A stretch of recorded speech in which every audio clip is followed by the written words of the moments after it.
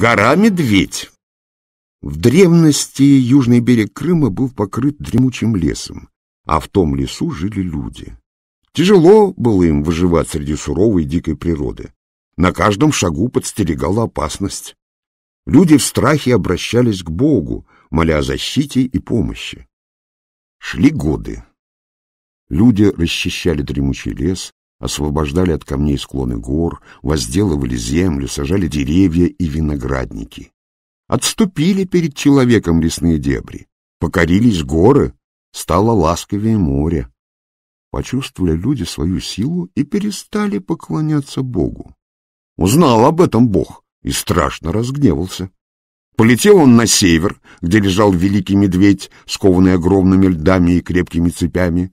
Бог раздвинул льды, снял с медведя цепи и велел плыть в южную страну, чтобы наказать непокорных. Обрадовался медведь свободе и поплыл по морям и океанам.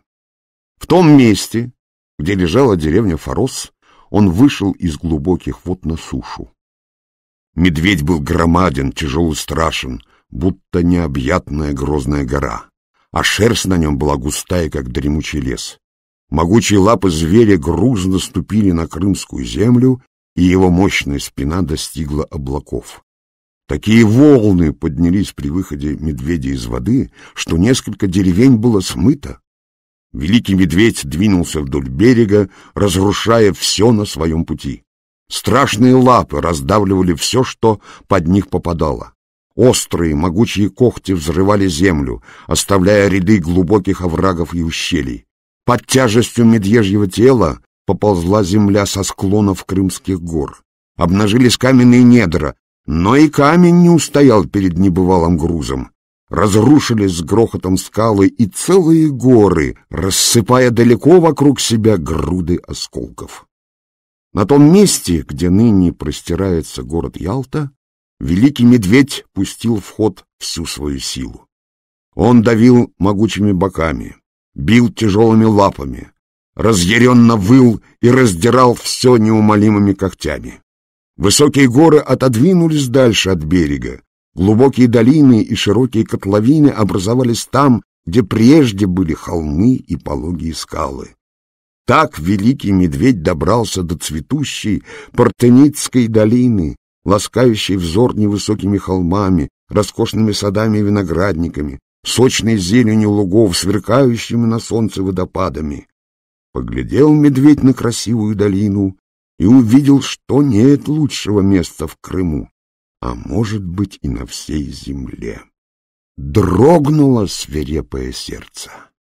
Нет, не будет он больше разрушать этот чудесный край. Он останется здесь жить, чтобы вечно любоваться прекрасной природой, дышать горным воздухом, купаться в теплых водах Черного моря. Он не желает возвращаться на север, где его ждет неволя в ледяном логове. Зевнул медведь так, что горы задрожали, сполз к морю, опустился на колени, погрузил в голубую влагу свою страшную пасть и стал долго и жадно пить. Грозно бурлило море, высокие волны ходили по всему побережью, от тяжелого дыхания зверя. Увидел Бог, что медведь перестал его слушаться и произнес слова заклинания. «Оставайся же навеки на этом месте!» Стало каменеть огромное тело медведя. Могучие бока превратились в отвесные кручи. Высокая спина стала округлой вершиной горы. Голова сделалась острой скалой над морской пучиной. Густая шерсть обратилась в непроходимую дубовую чащу. Великий медведь стал медведь горой. Лишь черное море продолжало бурлить около его пасти, как будто он все еще пьет воду.